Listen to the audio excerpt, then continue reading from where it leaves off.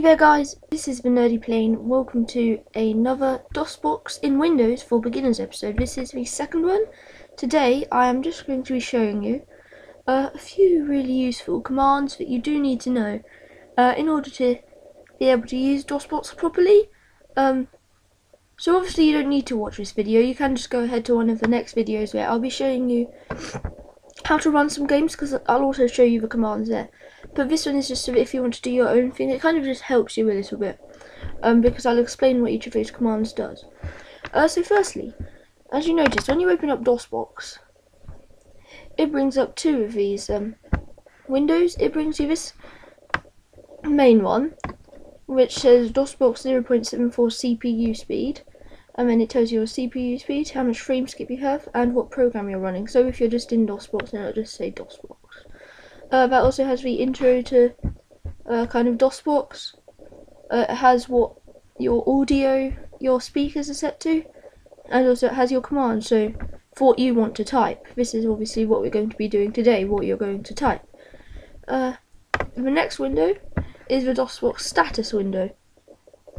This tells you um, how DOSBox is running. Uh, so at the moment, because you've just got it set to default, there's not really very much um, so when you go changing some of the uh, options to make it run faster so that you can run some more high power games, um, it will obviously glow up. Uh, this will obviously show that you've set it to higher in the status window. If you close either of them, then they'll both close. So what I'm firstly going to do is just open up my C drive by clicking on the File Explorer and going up to C in the side bit I have a folder up here that I've already created called DOS programs, where I've only put one program into it so far. Uh, so I'll just be using that. So you're going to want to create a folder called DOS programs, which is where you're going to store store all of your um, games or uh, uh, applications for that can only run in DOS. So I'm going to just create a new folder and call that new. So from there I'm also going to create another folder called another. Now you don't need to do these. You can do something similar just so that you kind of get it into your head what, what this is doing. Um, but the first command we're going to be using today is called um, mount. Okay, so um, now as you can see, I'm just uh, zoomed into the uh, type area. So the first command we're going to be using is called mount. Uh, mount. So you're going to type mount.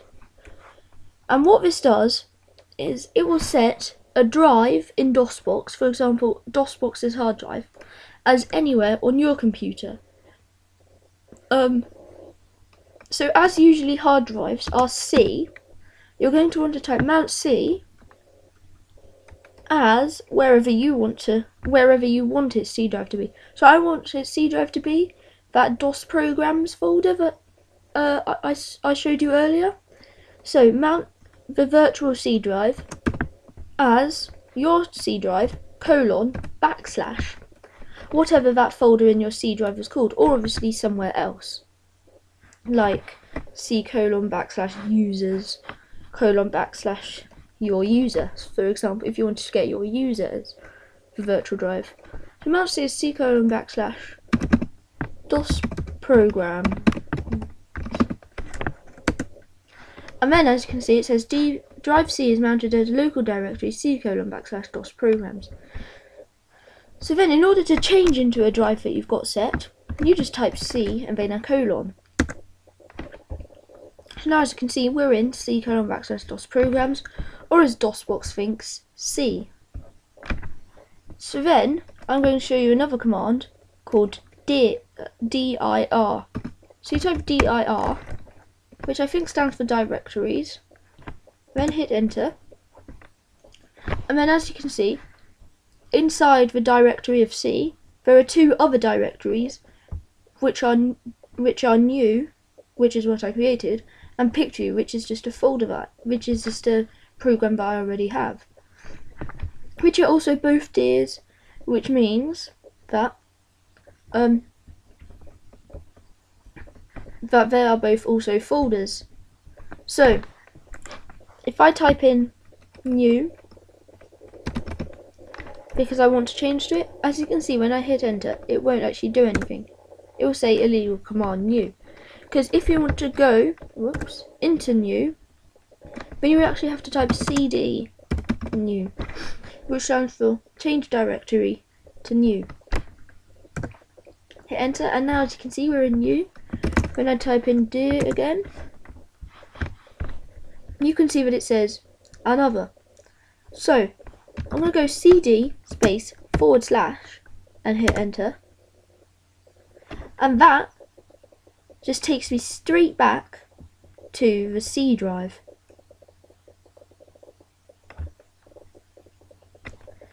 So, if I then go cd backslash, does the same thing. Okay, so if I go cd space dot, okay, I'm just being silly here, I was just experimenting. Uh, so cd new, and then um, when I type in D, you can see that I have the folder another. So cd another. And then now that we're in new colon backslash another, nowhere else to go. So I will then go uh, cd backslash and it will take us straight back into the C. So, so far, mount sets, um, sets a drive like C. Uh, dir, C, you can view what's inside that directory. Um, CD, and then whatever folder you want to go into, will choose uh, will set you forwards into that folder. And then cd backslash will take you straight back to the C drive. Um, I probably have some other stuff to do. So, um,